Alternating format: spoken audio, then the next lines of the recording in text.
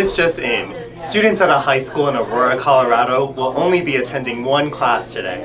I'm Nick Newshauer, here with the facts at Channel R News. And I'm Bree Weathersby, here with the hot tea on everything that's happening at Rangeview today. But first, let's pass the mic over to Linda Hotleads, our own scene specialist, to tell us what's really happening in the school at RHS today.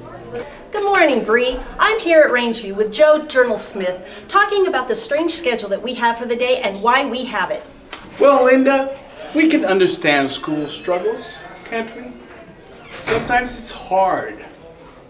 Sometimes you wake up late, it starts raining, your hair is a mess, and then finally you figure out you have to walk all the way to school and eventually turn in homework. But we've been through that, haven't we? But we're here to help you even in those tough times and rough days. We want to get to know you, we want to spend time with you, and we want to have fun because that's important stuff too.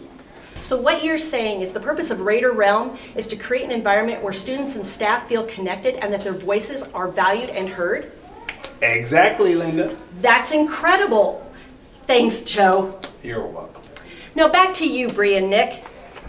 Nick, incoming news. There's some interesting events happening around the school today. It seems that our sports folks, Dawn Duncanworth and Becky Basketmore, are outside Rangeview High School right now, and they can give us some details on the competition front.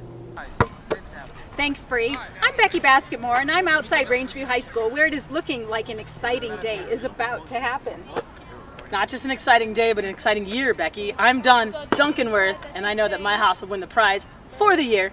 Throughout the day today, students will have the opportunity to engage in lessons, hear from an incredible keynote speaker, and learn about ways to earn prizes and opportunities through our new five-star student program that supports student engagement and success. We will also meet our family groups, have a family meeting, and if you're up to the challenge, engage in some friendly competition. Friendly competition? Is there such a thing as friendly competition? Thank you guys for that. Now from the world of entertainment, let's hear about the conclusion of the day from Tammy Strauss. Hi Nick and Bree. Raider Realm Reveal Day seems incredible already, but it's going to end in the most exciting of ways. The annual club open house will take place on the front patio of the school from 2.50 to 3.20. This is your chance to sign up and get involved in anything and everything you're interested in.